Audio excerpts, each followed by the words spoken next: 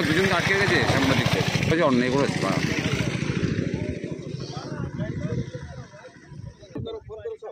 Phone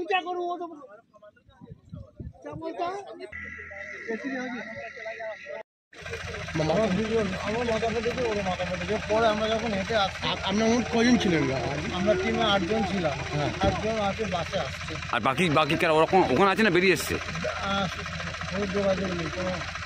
কোনো যোগাযোগই নেই। আপনার কি ইডি অফিসার?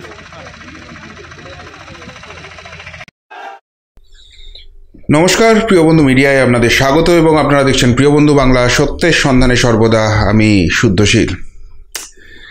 বন্ধুরা এগিয়ে বাংলা। মমতা ব্যানার্জির আমলে কি পরিমাণ জঙ্গলরাজ হয়েছে? কি পরিমাণ শাসকের আইন চলছে? দেখুন আজকে। কি ঘটনা? সন্দেশখালিতে গিয়েছিল আজকে ইডির টিম, উত্তর চব্বিশ পরগনার সন্দেশখালিতে। সেখানে তৃণমূল নেতা শাহজাহান শেখ তার বাড়িতে তদন্ত করার দরকার হয়ে পড়েছে। কেননা আপনারা জানেন যে রেশন চোর বালু, বালুর হচ্ছে ডানাত ছিল বাকিবুর। কিন্তু সেই তদন্ত করতে গিয়ে উঠে এসছে এই শেখ শাহজাহানের নাম, যে হচ্ছে তৃণমূল নেতা এবং তারপর জেলা পরিষদের বোধহয় মৎস্য কর্মাধ্যক্ষ বা এরকম কোনো একটা পদে রয়েছে। তার বাড়িতে আজকে ইডি যায়।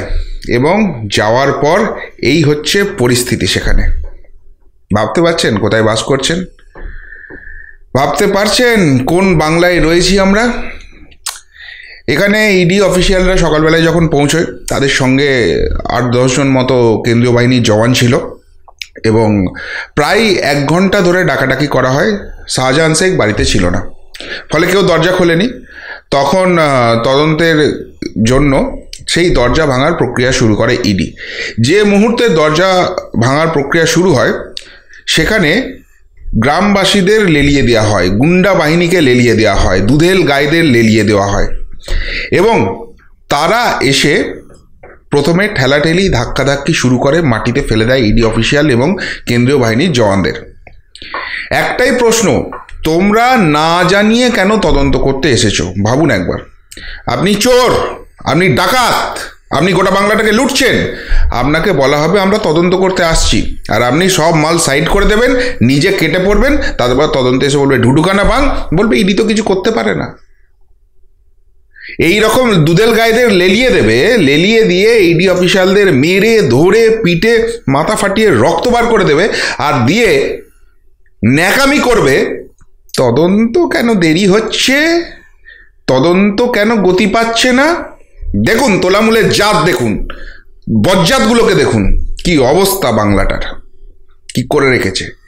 এরপর সেখানে এই কেন্দ্রীয় বাহিনী জওয়ানরাই যেটা স্টেটমেন্ট দিচ্ছেন, দেড় থেকে দু হাজার লোক তেরে আসে। এবং ইডি অফিসিয়ালদের মেরে মাথা ফাটিয়ে দেওয়া হয়, গাড়ি ভাঙচুর করে দেওয়া হয়, কেন্দ্রীয় বাহিনীর জওয়ানদের ধরে পেটানো হয়। এবং তখন ইডির যে গাড়ি সেই গাড়ির যে ড্রাইভার সে প্রাণ ভয়ে পালিয়ে যায় সেখান থেকে। খুব স্বাভাবিক, এরকম পরিস্থিতি যখন হয়ে গেছে। ফলে ইডি অফিসিয়ালরা ওখান থেকে কি করে বেরোবেন বুঝতে পারছেন না। বেশ কয়েকজনের মাথা ফাটা ফেটে যায়। এবং দেখছেন, ওখানে ক্যামেরা দেখছেন, সংবাদ মাধ্যমের প্রতিনিধিরা তখন সেখানে কিন্তু পৌঁছে গিয়েছিল। সেই অবস্থায় এইবার সংবাদ মাধ্যমের প্রতিনিধিদের উপরও চড়াও হয়ে যায়। এই যেগুলোকে দেখছেন এখানে।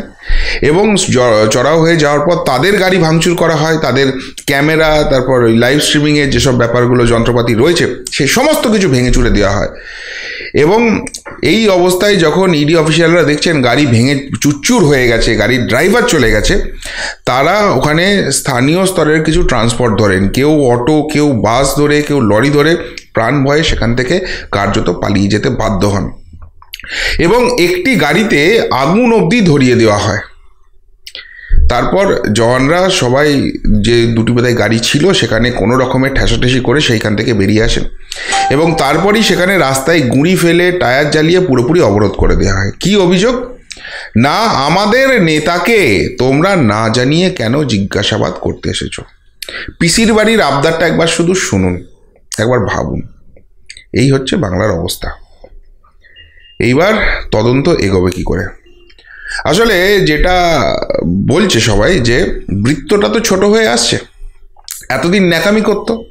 বাড়িতে ইডি এলে সিবিআই এলে আসন পেতে মুড়ি খেতে দেবেন, মুড়ি বাতাসা খেতে দেবেন। ওসব ধমকে চমকে হবে না, রাজনৈতিক প্রতিহিংসা। আসুক না তদন্ত করতে, তদন্ত করে তো কিছুই পাচ্ছে না। কাউকে তো শাস্তি দিতে পারছে না, যেগুলো জেলে আছে সেগুলোও ছাড়া পেয়ে যাবে। কিন্তু ওই কালীঘাটের ফেরেববাজ কাকুর যখন কণ্ঠস্বর পরীক্ষা হয়ে গেছে, যখন সেটা নেওয়া হয়ে গেছে, তখন বুঝতে পারছে ওই তোলাবাজ, ফেরেববাজ, চিটিংবাজ ভাইপোটাকে ঘাড় ধরে বাড়ি থেকে বা তুলে নিয়ে যাবে। বড় বড় ফুটানির দিন শেষ, সেটিং সেটিং করে বি টিম সি টিমকে নামিয়ে যে তোলপাড় করার চেষ্টা করা হয়েছিল মানুষকে গুলিয়ে দেওয়ার চেষ্টা করা হয়েছিল সেগুলো শেষ। এইবার তার বাড়িতে ঢুকবে এরকম করে, তালা ভেঙে ঘাড় ধরে এইভাবেই হিরির করে টানতে টানতে নিয়ে যাবে। আর তাই তাই এবার ইডিকে ভয় পাওয়ানোর প্রক্রিয়া শুরু হলো। এমন একটা পরিস্থিতি তৈরি করে দাও, এমন একটা অগ্নিগর্ভ সিচুয়েশন করে দাও। ইডি আধিকারিকরাও তো দিনের শেষে মানুষ, তাদেরও তো পরিবার আছে, তাদেরও তো প্রাণের ভয় আছে। তারা আর তদন্ত করতে যেতে চাইবে না। এই কেন্দ্রীয় বাহিনী জওয়ানদের জিজ্ঞাসা করা হচ্ছিল যে, এরকম পরিস্থিতি আগে কোথাও পড়েছেন? বলো না। আমরা বহু জায়গায় তদন্তে গেছি, বাংলার বাইরে, বাংলাতেও। এই পরিস্থিতি কোনোদিন হয়নি। এই যে উত্তেজিত পরিস্থিতিটা করিয়ে দেওয়া হলো, তাতে একটা জিনিস কার্যত স্পষ্ট হয়ে গেল। যে ইডিকে কিন্তু ভয় পেতে শুরু করেছে। এবার ইডি পাল্টা কি করবে? এখানে অন্যান্য কেন্দ্রীয় বাহিনী নিয়ে এসে তদন্ত করবে, হায়ার অফিসিয়ালকে জানাবে এখনও সেটা জানা যায়নি। কিন্তু নজিরবিহীন ঘটনার সাক্ষী রইল আজকে গোটা বাংলা। এবং এর জন্য এই রাজ্যের মুখ্যমন্ত্রী, পুলিশ মন্ত্রী মমতা বন্দ্যোপাধ্যায় জবাবদিহি করবেন? আইন শৃঙ্খলার পরিস্থিতি এরকম হলো কেন? এই রাজ্যের ডিজি রাজীব কুমার জবাবদিহি করবে? এই রাজ্যে স্বরাষ্ট্র সচিব নন্দিনী চক্রবর্তী জবাবদিহি করবে? এই রাজ্যে কেন্দ্রীয় তদন্তকারী সংস্থা, তারা তদন্ত করতে এলে তাদেরকে মেরে ফেলার পরিকল্পনা হচ্ছে, খুনের ষড়যন্ত্র হচ্ছে। ভাবতে পারছেন কি চলছে বাংলায়? এবং এইটার জন্য তো সবার আগে তৃণমূলের শীর্ষ নেতৃত্ব থেকে কাস্টডিতে নেওয়া উচিত, তাদের বিচার করা উচিত, তারাই তো উস্কেছে। ইডির বিরুদ্ধে রাজনৈতিক প্রতিহিংসা রাজনৈতিক প্রতিহিংসা রাজনৈতিক প্রতিহিংসা, এই মিথ্যাচার করে গোটা বাংলাকে তাতিয়ে রেখেছে তো তারা। এবং যখন দেখছে যে আইনি পথে পারা যাচ্ছে না, সেই আইনি প্রক্রিয়ায় যারা রয়েছে, সেই বিচারপতিদের ভয় পাইয়ে পাওয়া যাচ্ছে না। আইনজীবী, আইনজীবীদের যারা লড়ছেন এদের বিরুদ্ধে তাদের গায়ে লক্ষ লক্ষ টাকা নেওয়ার কাদা ছিটিয়ে তাদেরকে আটকানো যাচ্ছে না। যখন প্রভাব, প্রশাসন সমস্ত কিছুকে কাজে লাগিয়ে কালীঘাটের কাকুর ভয়েস স্যাম্পল টেস্টিং নেওয়া আটকানো যাচ্ছে না এবং যে কোনো দিন এই তোলাবাজগুলোকে তুলে নিয়ে যাবে ইডি এবং আইনি প্রক্রিয়ায় ওই তিহারে গিয়ে গড়াগড়ি খেতে হবে। সেই দিনকে এইভাবে মানুষকে লেলিয়ে দিয়ে উত্তপ্ত করে পরিস্থিতি এমন ঘোরালো করে দাও যে কেউ আর তদন্ত করতে ভয়ে এখানে আসবে না। কিন্তু এইভাবে কি শেষ অবধি বাঁচা যাবে? এই তোলামূলগুলো যে কত বড় তোলাবাজ, এই জায়গা থেকেই তো প্রমাণিত হয়ে যাচ্ছে। এবার এবার কি করবে এখানে? এবং সবথেকে বড় প্রশ্ন হয়ে গেল, যে রাজ্যে কেন্দ্রীয় তদন্তকারী সংস্থার আধিকারিকদের কোনো নিরাপত্তা নেই, কেন্দ্রীয় জওয়ানদের কোনো নিরাপত্তা নেই, প্রাণহানি হয়ে যেতে পারে, তাদেরকে পুড়িয়ে মারা হতে পারে, পিটিয়ে মারা হতে পারে, এই সিচুয়েশন হলে কেন্দ্রীয় সরকারও কি এবার ঘুমিয়ে থাকবে? এবার কি এখানে রাষ্ট্রপতি শাসন জারির দরকার হয়ে পড়েনি? এই জঙ্গল রাজ থেকে মুক্তি পাবে বাংলা কীভাবে? কীভাবে এই চোর চিটিংবাজ তোলাবাজগুলোকে তুলে নিয়ে যাবে। বাংলায় তো দুর্নীতির গ্রাসে শেষ করে দেওয়া হয়েছে বাংলাটাকে। যেদিকে তাকাবেন সেদিকে দুর্নীতি। দু হাতে লুটে পুটে খাচ্ছে তোলাবাজগুলো, তোলামূল নেতাগুলো। আর সেই জায়গা থেকে যখন তদন্ত করতে আসছে, মুখে বড় বড় বাতেলা মারে। আর যখন এখানে যায়, তখন এইভাবে তাদেরকে পিটিয়ে মেরে খুন করার চেষ্টা করে। এগিয়ে বাংলা। এগিয়ে বাংলা, জঙ্গল রাজে এগিয়ে বাংলা।